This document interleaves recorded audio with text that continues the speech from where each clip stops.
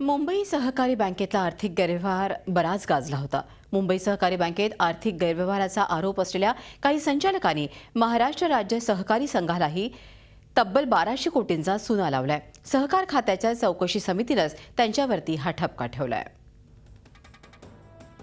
मनसेचे आमदार प्रवीण दरेकर आणि मुंबई बँकेचे माजी अध्यक्ष शिवाजीराव नलावडे यांच्यासह मुंबई बँकेचे आणखी सात संचालक यांच्यावर आता मुंबई बँकेपाठोपाठ आणखी एका सहकारी संस्थेत आर्थिक गैरव्यवहाराचा ठपका ठेवण्यात आलाय. पुण्यातल्या राज्य सहकारी संघात हा गैरव्यवहार झालाय. या गैरव्यवहाराची व्याप्ती आहे तब्बल एक हजार दोनशे नव्वद कोटी रुपये.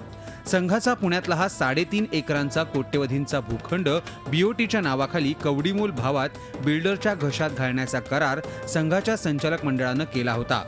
या एकाच व्यवहारात संघाचं हजार कोटीहून अधिक आर्थिक नुकसान झाल्याचा सहकार खात्याचा ठपका आहे. बीओटीच्या या कल्पनेमुळं राज्य सहकारी संघाचं बदनामी तर झालीच पण प्रचंड मोठी नुकसान झालं याच्यामध्ये जे दोषी संचालक आहेत त्यांच्यावर ज्या आर्थिक नुकसानीची जबाबदारी आहे ती निश्चितपणे निश्चित होईल आणि ती व्हायलाच पाहिजे त्याशिवाय सहकार सुधारणार नाही असं मला वाटतं संघाच्या बाराशे कोटीहून अधिक आर्थिक नुकसानीला सहकार खात्यानं प्रवीण दरेकर शिवाजीराव नलावडे यांच्यासह संघाच्या अनेक आजीमाजी संचालकांना आणि अधिकाऱ्यांना जबाबदार धरलंय. नुकसानीची जबाबदारी निश्चित करून सहकार खातं थांबलेलं नाही तर ही रक्कम वसूल करण्यासाठी सहकार कायद्याच्या कलम अठ्ठ्याऐंशी नुसार कोट्यवधींच्या आर्थिक नुकसानीला जबाबदार संचालकांच्या संपत्तीवर टाच आणण्याची कारवाईही सुरू केली आहे.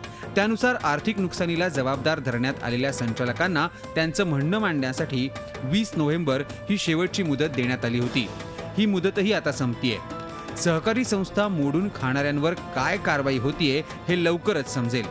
मात्र या कारवाईत राजकीय खोडा घातला जाऊ नये अशी अपेक्षा व्यक्त केली जाते Nitin Patole Zee media Pune. Zee चोवीस तास एक पाऊल पुढे.